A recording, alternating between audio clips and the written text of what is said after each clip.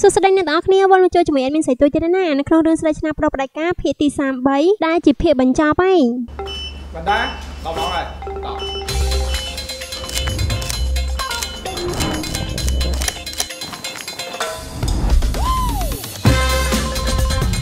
ហ្វូដផាន់ដាដឹកជូនលឿនទាន់ចិត្ត នៅក្នុងឱកាសនេះផងដែរសម្រាប់លោកអ្នកដែលធ្វើការកម្មង់នៅក្នុង App Food Panda ដែលគ្រាន់តែប្រើប្រូម៉ូកូដស្រីតូច SP លោកអ្នកនឹងទទួលបានការបញ្ចុះតម្លៃ2ដុល្លារភ្លាមៗរាល់ការកម្មង់អស់5ដុល្លារសម្រាប់ប្រូម៉ូកូដនេះអាចប្រើប្រាស់បានទាំង user ថ្មីនិង user ចាស់ប៉ុន្តែមួយ user ប្រើបានតែម្ដងទេណាអូខេតោះកុំឲ្យរងចាំយូរយើងបន្តសាច់រឿងរបស់យើងតែម្ដងណាដោយការពិភាក្សាមុនមិនបៃចិននឹងប្រាប់សម្លាញ់របស់ខ្លួនពីរនាក់ថាចង់ឲ្យពួកគេជួយរឿងអីនោះតែយើងមិនទាន់ដឹងថាជារឿងអីដូចគ្នាព្រោះតែសាច់រឿងរបស់យើងនឹងកាត់ចូលដល់ឈុតថ្មីបានដែលបៃចិនបានទៅយកសនយីនឹងតែញ៉ាំ dinner ជាមួយនឹងគ្នាហើយជិះមកតាមផ្លូវនឹងស្រាប់តែគាត់នឹងបុកគូឡានគេភៅចុះមកស្មានតអ្នកដតីណាអ្នកទាំងអស់គ្នាអើយគឺយូឡាងនឹងឯងក៏មិនសក់វែងហើយពាក់សក់នឹងធ្វើដូចជនជាតិគេអញ្ចឹងណាដល់ចេញមកដល់ខាងក្រៅហើយពីរអ្នកនឹងសញ្ញោអូខេដាក់គ្នាទៀតណានិយាយទៅគឺថាបៃចិនកំពុងរៀបចំផែនការស្ទាក់ដំណើរធ្វើស៊ីសនយីតាមផ្លូវនឹងឯងដែលលើកយកបញ្ហារឿងបុកឡានគេមិញហ្នឹងគូយកលេសធ្វើជានាំសនយីនឹងមកញ៉ាំអីនៅចិត្តចិត្តហ្នឹងលោកពួកគេទាំងពីរអ្នកដើរចូលក្នុងម៉លនឹងបានបន្តិចហ្នឹងសនយីក៏ត្រូវបានតាក់ទាញនៅរូបគំនូររបស់បៃចិននៅកណ្ដាលម៉លហ្នឹងតែពេលនឹងលបងបៃចិនហ្នឹងមិនបានប្រាប់ទេថាហ្នឹងគឺជាគំនូររបស់ខ្លួនដើរមកមកបានពេលចំហៀនទៀតក៏បានឃើញមនុស្សពាក់ឈុតតុក្កតាខ្ជុតខ្ជុតពីរនាក់ហើយលបងតុក្កតាទាំងពីរនាក់ហ្នឹងក៏បានអញ្ជើញពួកគេទាំងពីរនាក់នេះហ្នឹងឲ្យចូលទៅមើលខាងក្នុងណាទៅមកបានបន្តិចក៏បានឃើញគំនូររបស់បៃចិនហ្នឹងនៅនឹងទៀតហើយតែដំបងឡាយសននិយាយអត់តន់ឆ្ងល់ទេក៏បន្តដើរទៅមុខទៀតឃើញការតបតែងប្រប៉ងក៏ដូចជាមានទាំងកត្រហោះទៀតណាហើយអ្នកបង្កដែលធ្វើឲ្យសននិយាយមានស្នាមញញឹមលើមុខពេលនេះគឺថាកំពុងដើរញញឹមពីក្រោយខ្នងរបស់នាងដូចគ្នាអត់មកអីទាំងអស់នៅពេលដែលគេដើរទៅដល់មុខខ្លងទ្វារពបកាឈុកមួយបៃចិនក៏អញ្ជើញសននិយាយចូលទៅខាងក្នុងទៅដល់ខាងក្នុងហ្នឹងគឺថាឃើញឈុតខែឈុតពុកអីអញ្ចឹងណាអ្នកទាំងអស់គ្នាឲ្យមានឌីកពេលប៉ោះឡើងពេញហ្នឹងពេលហ្នឹងយើងក៏បានឃើញបៃចិនយកឯកសារកាន់កាប់មកហ្នឹងពីលើពុកមកហើយក៏បានប្រាប់ទៅកាន់សនយីថាបងសុំទោសផងដែលបងរៀបចំការតបតែងនៅក្នុងម៉លបងអូនដោយមានការអនុញ្ញាតពេលនេះសនយីក៏រៀនឆ្ងល់ដែរព្រោះថានាមដែលដឹងថាខ្លួនឯងហ្នឹងមានម៉លតាំងពីពេលណានិយាយទៅគឺថាបៃចិនហ្នឹងសប្រៃជូនម៉លគេហ្មងអ្នកទាំងអស់គ្នាមិនណយណាបន្ទាប់ពីប្រាប់គេរឿងម៉លហ្នឹងហើយហើយក៏លុតជង្គង់មកគេសុំគេរៀបការទៀតអូយអែមសែមណាអ្នកទាំងអស់គ្នាអើយឡើង sweet ហ្មងណាសនយីរំភើបនឹងទឹកភ្នែកតែម្ដងហើយពេលនេះគឺថាគ្មានពាក្យថាណូរវាងពួកគេទាំងពីរនាក់ទេបន្ទាប់ពីខាងស្រីអូខេហើយខាងផតរបស់យើងហ្នឹងក៏គ្រប់មកពាក់អញ្ជើញឲ្យគេណាហើយពាក់អញ្ជើញហើយក៏ស្រាប់តែខីគ្នានៅក្នុងម៉លហ្នឹងហ្មងអត់មានអាណិតភ្នែកខ្ញុំអ្នកមើលនេះសោះដឹងខ្ញុំអៀនប៉ុណ្ណាទេអីតែចង់និយាយបន្តិចគឺថាកន្លែងហ្នឹងបៃចិនណាឡើងមានចេតនាខូចហ្មងអ្នកទាំងអស់គ្នាសុំគេរៀបការកន្លែងណាមិនសុំមកសុំគេរៀបការនៅចិត្តពុកចិត្តខែនេះអត់យល់ទេមានចេតនាខូចឲ្យច្បាស់កន្លែងហ្មងហើយអាគេកំពុងអាខីគ្នាអញ្ចឹង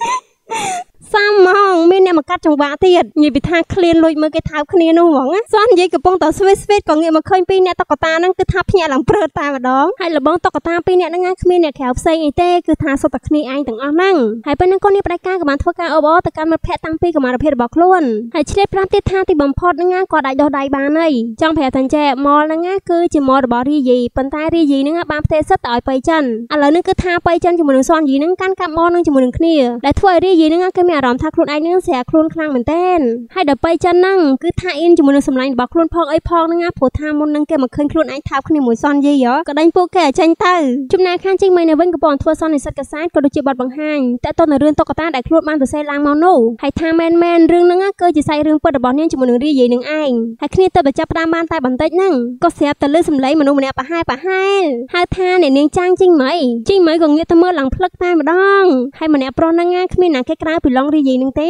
រីយាយក៏ដាល់ឡើងញោមស្មាញ់ចូលទៅរកគេហើយក៏ប្រាប់បដាអីបដាហ្នឹងថារឿងតុក្កតាដែលនាងបានបោះពុំហ្នឹងគឺរំលោភបំពានសិទ្ធិរបស់គាត់ខ្លាំងណាស់តែពេលដែលគេដើរចូលទៅចិត្តហ្នឹងគឺថាជីងមីនឹងមើលគេឡើងបណ្ដាភ្នែកហ្មងប្រហែលជាចង់មើលបែបហ្នឹងយូរយូរហើយមើលទៅអូចំណែករីយាយក៏បន្តនិយាយទៀតទាំងភ្នែកសម្លឹងមើលគេដូចគ្នាថាម្យ៉ាងទៀតរឿងតុក្កតារបស់នាងហ្នឹងមិនសមទេដែលទៅសេថាគាត់ហ្នឹងអាក្រក់នោះព្រោះថាគេ handsome ហើយពេលនេះទាំងអ្នកអង្គុយស្ដាប់ក៏ដូចជាអ្នកនៅលើឆាកហ្នឹងគឺស្ងាត់ជ្រាបជីងមីបានត្រឹមតែសម្លឹងមុខរបស់រីយាយហ្នឹងហើយក៏និយាយនៅក្នុងចិនថាឡងយីខានជួបគ្នាយូរហើយចំណែកខាងប្រុសរបស់យើងក៏និយាយនៅក្នុងចិត្តដូចគ្នាថាចាងជីមីអូនអូខេអត់ហើយនិយាយពីថាពីអ្នកនឹងសុទ្ធតែអ្នកមករឹងដូចគ្នានិយាយពីថាចិត្តឡើងអាលួយអស់ហើយហើយបន្តពីនឹងពីអ្នកនឹងក៏ចូលអូហ្វីសដើម្បីធ្វើការចរចាគ្នាដែលពេលនឹងរីយីគឺមាន3លក្ខខណ្ឌលក្ខខណ្ឌទី1រីយីក៏បាននិយាយថាពួកយើងទាំងពីរនាក់មិនទាន់ធ្វើឯកសារលេងលះទេអញ្ចឹងហើយនិយាយតាមផ្លូវច្បាប់ពួកយើងទាំងពីរនាក់នៅមានតំណែងជាប្តីប្រពន្ធនឹងគ្នានៅឡើយទេអញ្ចឹងហើយសម្រាប់រឿងតុក្កតារបស់នាងគឺជាទ្រព្យសម្បត្តិរួមអញ្ចឹងហើយខ្ញុំត្រូវតែមានសិទ្ធិចូលទៅត្រួតពិនិត្យរាល់ពេលដែលខ្ញុំចាប់អារម្មណ៍ចូលមកប៉ាឡើងឆ្លាតគេលើកច្បាប់បាននិយាយណាហើយលក្ខខណ្ឌទី2របស់គេគឺថាតុក្កតាឡុងយីតែម្ដងគាត់ថាគាត់អាចឲ្យនាងបាន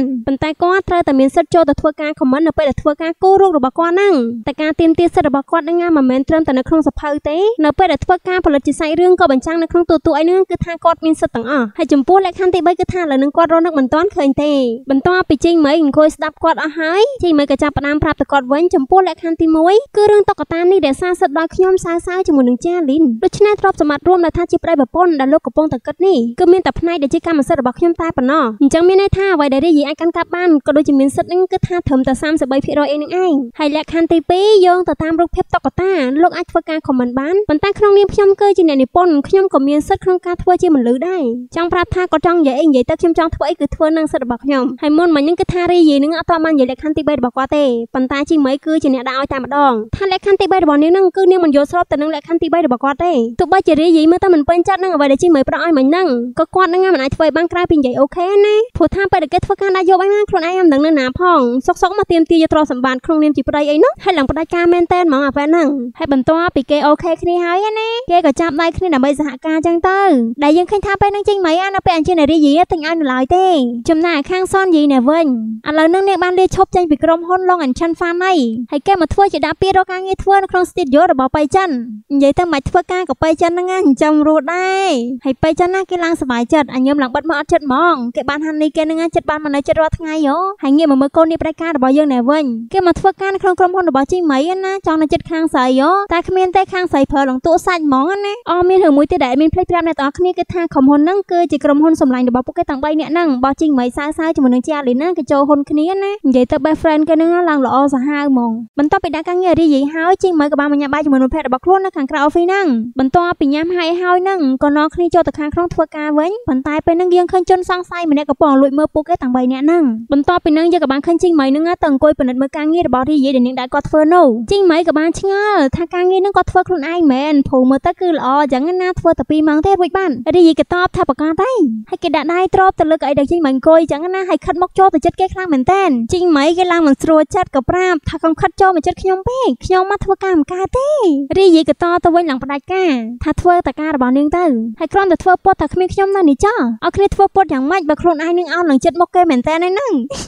គួរចាហ្វេហ្នឹងដល់អញ្ចឹងជីមិនគេមិនតន់តបអីទេគេចាប់ផ្ដើមមើលការងារបន្តទៀតស្រាប់តែមើលរូបកតុកតានឹងដល់ឈុតគេស្វីតដែរអ្នកទាំងអស់គ្នាអាឈុតតួតួថៅគ្នាអីចឹងណាអាតួយើងនៅខាងក្រៅនេះក៏ចាប់ផ្ដើមអញ្ចឹងទៀតដល់រីយីចាប់ផ្ដើមសួរជីម៉ៃថាប្រពន្ធសម្លាញ់នឹកបងអត់យីកោមែនទេណាប៉ែហ្នឹងជីម៉ៃគ្នាមិនតន់បានហាប់មាត់ឆ្លើយផងស្រាប់តែគាត់នឹងបបលក្អីគេទៅមកទំហឹងហ្មងណាហើយឡើងទ្របទៅលើខ្លួនគេហ្នឹងយីខូចណាស់ហើយខាងប្រុសរបស់យើងហ្នឹងក៏សឹមសឹមចូលប្រងទៅខីគេហើយចិត្តនឹងបានខីហើយហ្នឹងស្រាប់តែចាលីនមកកាត់ចង្វាដល់ចឹងទៅធ្វើឲ្យសម័យខ្លួនរបស់យើងទាំងពីរនាក់ហ្នឹងបំបីគ្នាឡើងលឿនចាលីននឹងថាខ្លួនឯងហ្នឹងចូលមកកាត់ចង្វាពេលវេលាសុបាយសុបាយរបស់គេហើយក៏ប្រាប់ពួកគេទាំងពីរនាក់ហ្នឹងបន្តទៀតចោចេះតែនិយាយហ្មងអាណាបន្តកាត់មិនទេគេអៀនដែរណាចាលីនដកខ្លួនថយទៅវិញបាទទាំងតែជីមីហ្នឹងមិនតបបានបកស្រាយអីផងហើយអ្នកបន្តគឺជារីយីនឹងឯងជាអ្នកដកខ្លួនថយទៅបន្ទាប់ពីនឹងជីមីក៏បន្តឆាយការងាររហូតដល់យប់បានចេញពីក្រុមហ៊ុនណានៅពេលដែលដើរតាមផ្លូវហ្នឹងក៏ស្រាប់តែឃើញមនុស្សប្រុសម្នាក់ហ្នឹងឈរស្ទាក់ផ្លូវរបស់នាងនឹងឯងហើយនាងក៏សួរទៅកាន់ម្នាក់ប្រុសហ្នឹងថាគឺជាឡុងរីយីមែន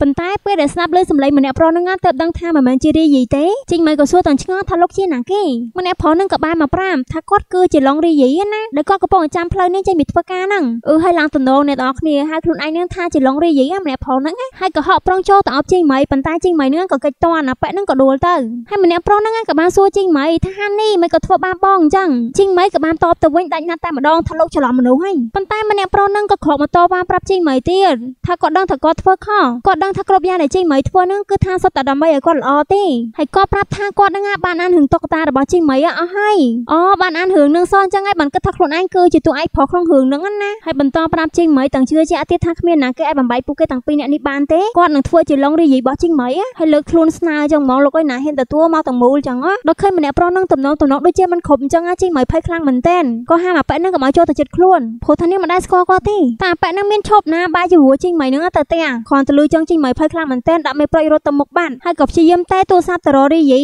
ប៉ុន្តែពេលនេះរីយីគាត់កំពុងតែប្រជុំនិយាយពីរឿងការងាររបស់គាត់អញ្ចឹងហើយគាត់មិនបានឃើញទូរស័ព្ទរកទេចំណែកអាប៉ែរោគចិត្តនេះវិញក៏តាមជីងមីនឹងទៅដល់ផ្លូវទាល់ហើយដែលនាងភ័យខ្លាំងមែនទែនក៏ព្យាយាមហាមកុំឲ្យគេនឹងចូលទៅជិតខ្លួនអាប៉ែនឹងក៏តបមកវិញទាំងរវើរវាយនឹងថា OK OK អូនអាចធ្វើអ្វីដែលអូនចង់ធ្វើបានបើមិនធ្វើឲ្យអូនកាត់ទុកទៀតទេហើយនិយាយដល់ស្និទ្ធស្នាលតំណងមែនទែនជីងមីក៏ព្យាយាមនិយាយបញ្ចុះបញ្ចូលដល់ហាអាប៉ែនឹងថាបងប្រុសគ្រាន់តែលឺជីងមីហៅគាត់ថាបងប្រុសចឹងគាត់ក៏សួរថាបងប្រុសអីគេបងគឺជាប្តីរបស់អូនណាមែនតើណាអ្នកទាំងអស់គ្នាហាប៉ែហ្នឹងក៏រៀងឆេះឆាយដល់ជីងមីបន្តិចហើយដល់ចង់ឲ្យជីងមីហ្នឹងហៅខ្លួនថាប្តីជីងមីឃើញកាន់តែភ័យទៅភ័យទៅណាតែភ្លាមហ្នឹងការភ័យរបស់នាងហ្នឹងក៏ត្រូវរលាយបានដែរដោយសារតែរាជបុត្រជីចេសរបស់នាងបង្ហាញខ្លួនគឺប្តីពិតប្រាកដរបស់នាងនឹងឯងអើយធូរធុងខ្សាហ្មងអ្នកទាំងអស់គ្នាអើយខ្លាចតែអាប៉ែហ្នឹងចាប់ជីងមីទៅណាបាត់តាដែលរីយាយកំពុងតែទូរស័ព្ទហៅឡានពេទ្យឈុតមកយកលោកបងនេះជីងមីឃើញរីយាយមកអញ្ចឹងណាក៏រត់ចូលទៅរករីយាយភ្លាមបន្ទាប់ពីរីយាយសួរជីងមីថាអូខេអត់ហើយហ្នឹងគាត់ក៏សួរទៅកាន់លោកបងរីយាយខ្លាំងខ្លាយហ្នឹងថាលោកគឺជារីយាយត្រូវអត់និយាយគ្នាបន្តិចអាប៉ែរោគចិត្តហ្នឹងក៏សួរបបមកកាន់ចេញមកវិញថាប្រពន្ធសម្លាញ់គេជាណាគេគេសួរដូចជាកំពុងប្រច័នចេញមកអញ្ចឹងហើយឡើងសំណំកូននេះផ្ដាច់ការរបស់យើងនឹងអត់តវ៉ាអីទេបើជានិយាយរឿងក្នុងចិត្តរបស់ខ្លួនហ្នឹងប្រាប់ម្នាក់ប្រុសខ្លាំងខ្លាយហ្នឹងថាឡុងយីខ្ញុំគិតថាលោកហ្នឹងគួរតែនៅស្រឡាញ់ចាងចេញមកឯងលោកដឹងអត់ថាហេតុអីបានជាលោកស្រឡាញ់ចាងចេញមកខ្លាំងដល់ថ្នាក់ហ្នឹងសួរគេអញ្ចឹងហើយគាត់ក៏ឆ្លើយខ្លួនឯងថាព្រោះតានាងគឺជាអ្នកធ្វើឲ្យលោកហ្នឹងខ្លាចទៅជាមនុស្សល្អប្រសើរម្នាក់ហើយទាំងចេញមកបានត្រឹមតែឈរស្ដាប់រីយីនិយាយទាំងស្ងាត់ស្ងៀមនឹងឯងរីយីក៏បន្តនិយាយទៀតគឺនាងជាអ្នកដែលបង្រៀនឲ្យលោកមើលឃើញផែនដីទាំងមូលគឺនាងជាអ្នកធ្វើឲ្យលោកស្គាល់ខ្លួនឯងច្បាស់ហើយក៏ជានាងដែរដែលប្រាប់លោកថាកុំឲ្យរស់ដើម្បីអ្នកដទៃលបងរីយាយខ្លាំងខ្លាយរបស់យើងបន្ទាប់ពីលឺអ្នកប៉ັດ5អញ្ចឹងគ្នារៀងសើសើដែរនឹងអត់យល់ពីអ្វីដែលរីយាយកំពុងនិយាយសោះហើយធំឈប់ស្ដាប់រីយាយនិយាយយូរហើយគាត់ក៏សួរថាអញជាណាគេតែគួរឲ្យស្ដាយសំណួររបស់គាត់ប្រហែលជាគ្មានពេលស្ដាប់ចម្លើយទេព្រោះថាលោកគ្រូពេទ្យពីរនាក់ក៏បានចូលទៅចាប់គាត់នឹងហើយយកទៅពេទ្យឈួតបានសម្រាប់ហើយដូច្នេះហើយកន្លែងកាត់ហេតុរបស់យើងនឹងនៅសល់តួឯកប្រុសតួឯកស្រីទេដែលពេលនឹងរីយាយក៏បានមកមើលមុខជីងមកចំហើយចាប់ដៃរបស់គេឡើងដល់និយាយថាលោកស្រីឡុងលោកប្រុសឡុងរបស់អូនល្ងងបន្តិចហើយបងដឹងក្តីរៀងយឺតបន្តិចហើយបន្ទាប់ពីនិយាយអញ្ចឹងហើយក៏សូមឲ្យជីងមីនឹងផ្ដល់ឱកាសនឹងលើកលែងទោសឲ្យគាត់ម្ដងបានអើលើការសុំរបស់គេនឹងហើយជីងមីក៏បានត្រឹមតែញឹមតែពេលហ្នឹងហើយរីយាយក៏បន្តនិយាយទៀតថាអូននៅចាំបាននៅលក្ខខណ្ឌទី3របស់បងអត់ដែលបងអត់តន់និយាយទេជីងមីក៏សួរបកទៅវិញថាអញ្ចឹងបងមានចាំបានអត់ថាលក្ខខណ្ឌទី3របស់បងនឹងអូននិយាយថាណូហើយតែរីយាយនៅតែផ្ដាច់ការតរ៉ែនឹងគាត់មិនខ្វល់ទេជីងមីចង់ថាណូអីក៏ណូទៅគាត់ក៏ប្រាប់ថាបងនៅរៀបការជាមួយនឹងអូននៅលើនឹងឯងបងទ្រាំចាំទៀតលែងបានហើយហើយពីរអ្នកនឹងកោគេទាំងយប់អ្នកទាំងអស់គ្នាអើយឃើញស៊ីននឹងហើយចង់សើចហ្មងណានាំគ្នាខទៅបៃចិននឹងសននិយាយនិយាយទៅខទៅមិត្តភ័ក្តិរបស់ខ្លួនទាំងអស់ហ្មងនិយាយទៅយប់នេះណាណាគេពាក់ព័ន្ធជាមួយនឹងពីរអ្នកហ្នឹងគឺថាគ្មានណាគេបានកេងទេទាំងចាស់ទាំងក្មេងហ្មងគឺថាហៅពួកគេហ្នឹងទៅកោឡងមៃដើម្បីទៅចូលរួមពិធីមង្គលការរបស់ពួកគេទាំងពីរអ្នកហ្នឹងហើយចាំដល់ភ្លឺសិនហ្នឹងអត់ទ្រាំចាំអត់បានហ្មងណាដាច់ដំណេកដាច់ការយកសពគេអស់លេងអញ្ចឹងកុំឲ្យរងចាំយូរយើងកាត់ចូលទៅមើលនៅលើកោះឡងមៃតែម្ដងទៅដែលជាសកម្មភាពពេលព្រឹកនៅថ្ងៃមង្គលការរបស់ពួកគេទាំងពីរអ្នកនឹងឯងដែលពេលហ្នឹងយើងឃើញប្រុសប្រុសនឹងគឺថាមកមកជុំគ្នាហើយហើយមើលកូនកំលោះនឹងកាន់បាច់ផ្កាឡើងញ័រដៃហ្មងគេកំពុងតែភ័យគេណាគេភ័យគេបានរៀបការនោះស្របពេលនឹងដែរម៉ាក់របស់ហើយយាយក៏បានបកគោលឯកសារកាន់កាប់សន្តាគារនោះទៅឲ្យម៉ាក់របស់ជីងម៉ៃវិញព្រោះថាឥឡូវនឹងកូនកូនគេរៀបការមួយគ្នាហើយចឹងសន្តាគារនឹងនៅតែចាត់ទុកថាជាថ្ងៃទឹកដោះសម្រាប់ខាងស្រីត្រែលចំណែកឯមកគោចាលៀនជាមួយនឹងហៅឈៀវនៅវិញកំពុងតែណោះគ្នាផ្ដិតយករូបស្អាតស្អាតទៅណាចំណែកខាងសនយីនៅវិញឃើញហានីរបស់ខ្លួនកំពុងតែនិយាយជាមួយនឹងស្រីស្អាតទាំងពីរអ្នកនឹងក៏ដើរទៅជន់ជើងបាច់ហ្មងជន់ជើងគេហើយក៏ដើរហួសទៅធ្វើដូចអត់ស្គាល់គ្នាអញ្ចឹងណាចំណែកកូនកំមុំរបស់យើងនៅវិញក៏ពងដើរចូលកម្មវិធីជាមួយនឹងប៉ារបស់ខ្លួនណាឡើងស្រស់ស្អាតទាំងគូតែម្ដងដែលកូនកំឡុងរបស់យើងឈរសម្លឹងពីចម្ងាយមកមិនដាក់ភ្នែកទេអស់ពីការសម្លឹងចឹងហើយគាត់ក៏ដើរទៅទទួលកូនកំមុំរបស់ខ្លួនដោយស្នាមញញឹមមានក្តីសុខបន្ទាប់ពីនឹងរីយាយក៏ទទួលបានជីងមីមួយក្នុងដៃឯណាដែលម៉ាក់ប៉ារួមទាំងមិត្តភ័ក្តិបងប្អូនទាំងអស់ក៏នៅគ្នាទាំងដៃអបអរដល់ពួកគេទាំងពីរនាក់ហើយពេលហ្នឹងកូនកន្លោះកូនកំមុំរបស់យើងនឹងណាបដាគ្នាមកបដានឹងណាក៏ឌឺគ្នាបដារឿងថ្ងៃដែលពួកគេទាំងពីរនាក់ទៅលេងលះជាមួយនឹងគ្នានោះគឺថាថ្ងៃនោះជីងមីនឹងបានយកសភៅអាពាហ៍ពិពាហ៍ម៉ាក់របស់ខ្លួនយកទៅទេមិនយកសភៅអាពាហ៍ពិពាហ៍របស់ខ្លួនទៅណាហើយខាងប្រុសនៅវិញក៏យកអតញ្ញិនបានតារបស់ខ្លួនទៅដែរដល់អញ្ចឹងជាមូលហេតុដែលពួកគេទាំងពីរនាក់នឹងអត់បានលេងលះដល់សប្តាហ៍ថ្ងៃហ្នឹងហើយប្រាប់ទៅកាន់មន្ត្រីគេថាខ្លួននឹងច្រឡំ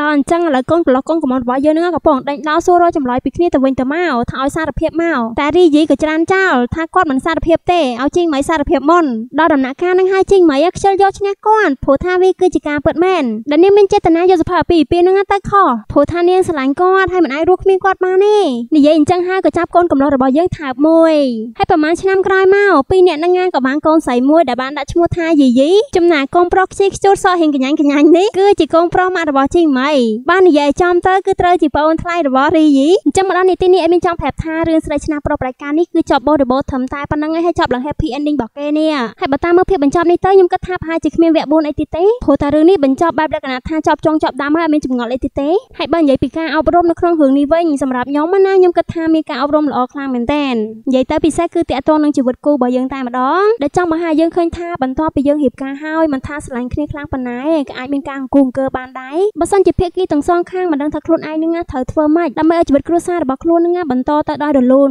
ឬដើម្បីរកចំណូលដើម្បីផ្គត់ផ្គង់គ្រួសារឲ្យមានសុភមង្គលនោះដូចជាតួរបស់រីយាយើងចឹងគាត់គឺជាកូនអ្នកមានស្រាប់ហើយប៉ុន្តែគាត់មិនដឹងថាខ្លួនឯងអាចធ្វើអីបានអញ្ចឹងហើយគាត់ក៏ចិត្តតែធ្វើដោយតាមចិត្តចង់មួយឆាវមួយឆាវហ្នឹងដែលធ្វើឲ្យគាត់នឹងបាត់ទាំងទឹកចិត្តខាតទាំងពេលវេលាបងទាំងលុយទៀតដូច្នេះដំណោះស្រាយនៅក្នុងរឿងហ្នឹងគឺថាយើងត្រូវដកឃ្លាមកគិតថាខ្លួនឯងនឹងមានចំណងចំណូលចិត្តទៅលើអីគេហើយចេះធ្វើអីឲ្យពិតប្រាកដតែយើងចាប់ផ្ដើមធ្វើវាទៅគឺថាមិនសូវជាខុសហើយយើងមានកម្លាំងចិត្តនៅក្នុងការធ្វើវាអញ្ចឹងទាំងអស់នេះគឺសុទ្ធតែជាកំណត់អប់រំដែល admin យល់ថារឿងហ្នឹងគឺបានបង្ហាញយើងឃើញច្បាស់ច្បាស់តែម្ដងដូច្នេះចូលមកដល់នីតិនេះ admin ក៏សូមអរគុណច្រើនខ្លាំងមែនទែនសម្រាប់ការតាមដានទស្សនាតាំងពីភាគ1រហូតដល់ភាគបញ្ចប់នេះណាអញ្ចឹងដើម្បីទទួលបាននូវរឿងថ្មីៗទៀតកុំភ្លេចជួយចុច subscribe នៅលើ channel របស់ admin ម្នាក់មួយផងណាអរគុណច្រើនបាយបាយ